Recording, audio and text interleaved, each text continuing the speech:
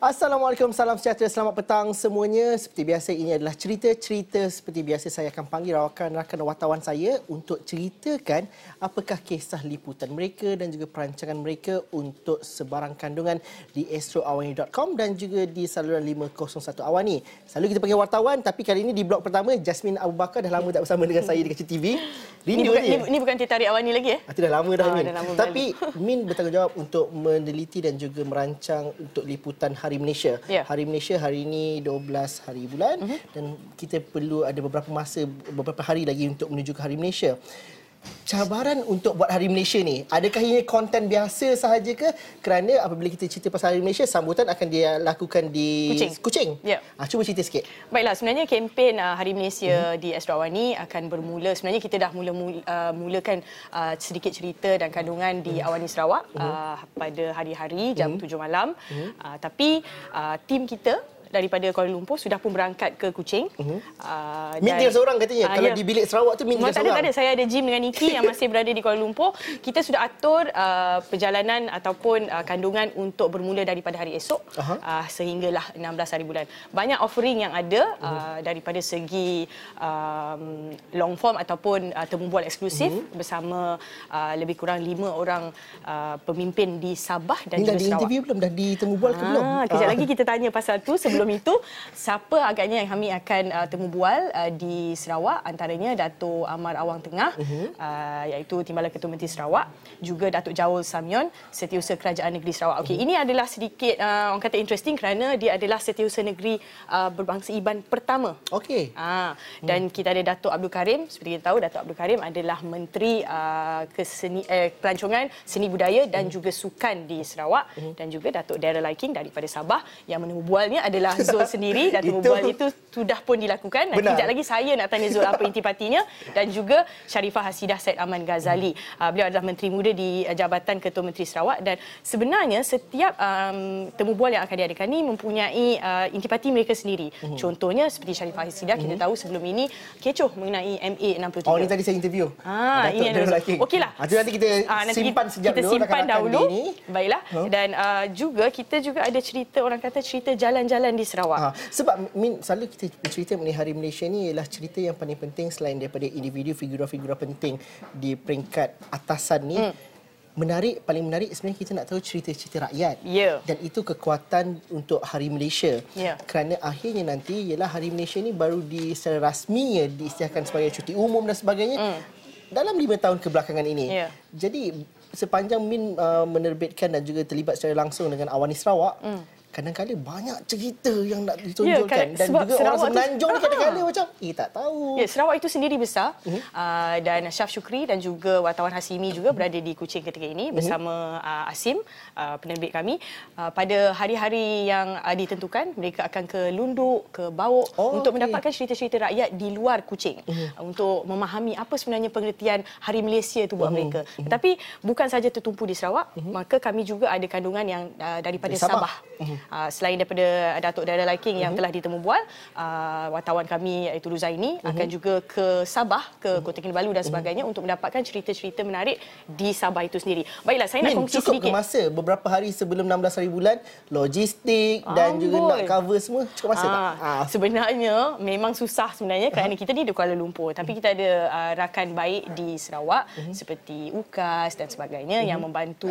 dari segi logistik dan sebagainya uh, dan mereka yang komiti uh, acara sempena Hari Malaysia uh, di Stadium Perpaduan ya bukan lagi di Padang Merdeka. Kenapa tu kalau tengok jerubu uh. dan juga antara sebab juga uh, sehingga ke saat-saat akhir yep. uh, ada pertukaran mm. dan bagaimana pertukaran itu juga sikit sebanyak perlukan uh, perancangan uh, liputan untuk Hari Malaysia ini mm. berubah sikit sebanyak ini. Mm. Semalam uh, Dato' Amar Awang Tengah, mm. uh, Timbalan Ketua Menteri Sarawak telah mengumumkan uh, pertukaran venue mm. daripada um, Padang uh, Padang Merdeka. Merdeka, ke Stadium Perpaduan. Kerana pada beliau uh, dan juga komiti dan sebagainya memikirkan tentang keselamatan dan kesihatan rakyat. Walaupun pada hari ini pada saat ini saya sahaja, baru sahaja cek IPU-nya uh, walaupun di Kuching bah- 87 saja sebenarnya Okey, dah- uh, jerebu sudah beransur ke Ke tempat lain. Semenanjung Uh, sebenarnya. walaupun Sri Aman masih lagi mencatatkan IPU lebih kurang 150. Okey. Uh, tapi mereka tak nak mengambil risiko. Dan uh, seperti yang anda saksikan ini Visual, adalah ya. visual uh, di mana uh, mereka sudah mula setupnya. Okey. Uh, beralih daripada Padang Merdeka ke Stadium Perpaduan. Uh, dan raptai uh, sebenarnya sudah mula beransur-ansur diadakan. Namun pada hari ini mereka uh, memberi fokus kepada setup dan besok dan seterusnya akan ada raptai setiap hari. Min, kalau dilihat kalau sebuah acara yang dirancang untuk dilakukan di luar dipindahkan ke dalam ianya tidak semudah copy paste di Oh, tidak. komputer sahaja. Kerana difahamkan kalau di, perancangan daripada uh, itinerary asal ada kereta berhias dan sebagainya. Jadi Semalam maklumat tu dimaklumkan tak kepada media? ad- Ada. Sebenarnya Dato' uh, Amawan Tengah semalam juga menjanjikan Mhm. uh, kemeriahan tu sama. Uh, mereka ada, kalau tak silap saya, opening dia adalah 300 drum pelbagai daripada pelbagai komuniti. Aha. Mereka akan kekalkan itu. Tapi macam mana aturan uh, kereta berhias dan sebagainya keluar masuk um, itu tidak dikongsikan lagi kita akan tunggu laporan daripada rakan-rakan yang berada di Kuching seketika ini uh, dan uh, mereka akan kongsikanlah apa bagaimana mereka agaknya akan raptai. apa mereka akan lakukan nanti? Ah. Pagi, petang, siang, malam di Okey, awan ini uh, di Astro Awani Malaysia? ia akan bermula daripada awani pagi Mhm. uh, di mana kami akan keluar uh, buat orang kata sarapan di Sarawak. Ui, best. Ah, untuk rakan-rakan awani pagi.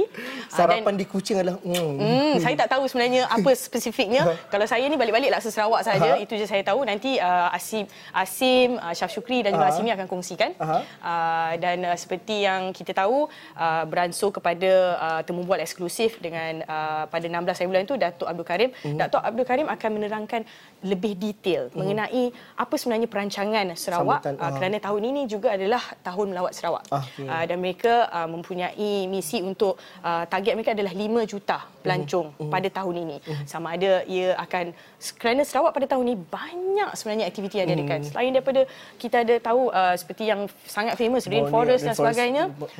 Minggu depan mereka ada lagi satu iaitu Jazz Festival. So ini semua adalah lead- di Miri? di Kuching. Kuching, okey. Lead up tu untuk memastikan 5 juta itu tercapai. Jadi itu yang kita nak nantikanlah. Uh, dan mungkin Zul boleh cerita sikit apa Datuk Darren Lakin cakap pasal Okey. Sabah pula. Kerana uh, apabila Min bercerita mengenai kuantiti kuantiti program di Sabah uh, di Sarawak, kita memberikan juga fokus kepada Ruang. Sabah, Ya. ruang pada Sabah. Tapi Min banyak bercerita mengenai Sarawak tadi kerana lokasi penganjuran Hari Malaysia itu di Pada Kuching. tahun ini di Kuching, ya. Tetapi uh, menariknya apabila kita mendapat uh, peluang untuk membual uh, Datuk Darrell Liking, uh, satu atas kapasiti beliau sebagai menteri. Betul. Tapi lebih penting sekali ialah dalam kapasiti menteri uh, uh, per, uh, perdagangan antarabangsa dan juga industri ini saya rasa tidak kita tidak ingat menteri daripada Sabah menjawab-jawab Ya. jawatan ini. Apabila saya menemui beliau, antara perkara yang ditegaskan ialah saya adalah menteri Malaysia. Mm. Saya bukan menteri Sabah, Ya. saya bukan menteri Sarawak. Saya saya memberikan jawab soalan yang agak general mm. tapi beliau menjawab, ini kerana bila saya balik Sabah, eh Daryl, kau sudah jadi orang Melaya ke?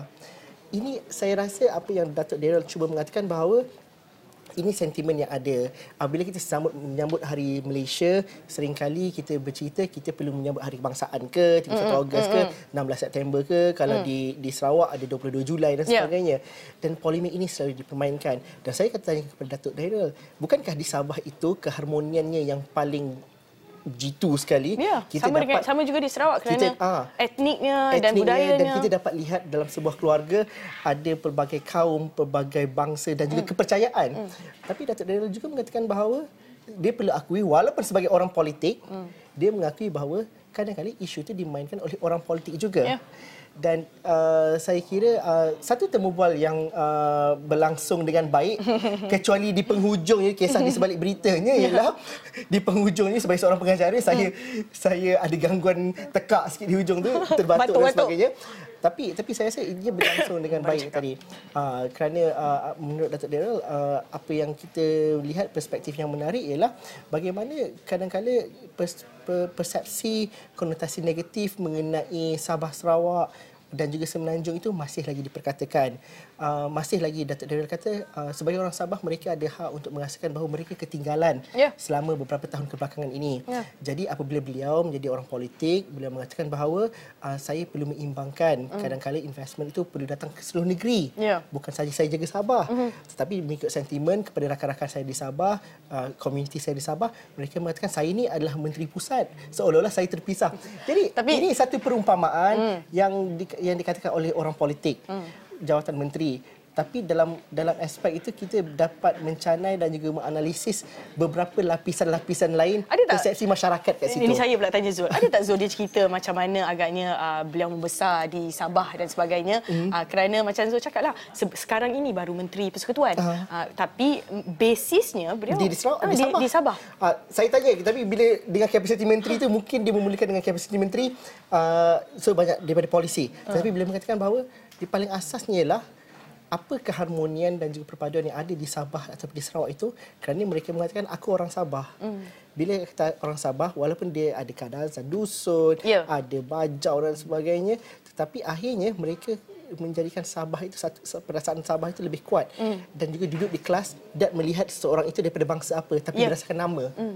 Itu yang Datuk Daryl kata ia berlaku di Sabah tetapi untuk diimport dengan uh, mudahnya ke Semenanjung ataupun sebaliknya itu bukan satu kerja yang senang. Saya kata itu kerja Dat- Datuk lah untuk buat. Betul. juga. Itu interview kami, interview saya uh, bakal disiarkan pada 16 September nanti. Mm-hmm. Min, Nanti saya akan uh, kembangkan Mhm. uh, dari masa ke semasa daripada uh, ke, daripada ke so, so, social media kami Mhm. astrawani.com uh, masa temu bual-temu bual ini akan disiarkan uh, daripada 14 hingga 16, 16. hari bulan. Dan bukan hanya dalam Awani Sarawak sahaja Bukan. setiap pukul 7 malam Tidak. tapi ada dalam Awani pagi 7.45 dan sebagainya. Buletin Awani dan sebagainya. Dan juga cerita. Okey, terima kasih Min. Sama-sama. Min tugasannya dah habis kat sini. Saya akan bersama dengan Hilmi Malik selepas ini. Dia nak bercerita ataupun dia pergi ke sebuah sidang media bercerita mengenai konsert reunion yang sepatutnya berlangsung pada hujung bulan ni. Jadi atau tidak, itu kita kongsikan selepas ini.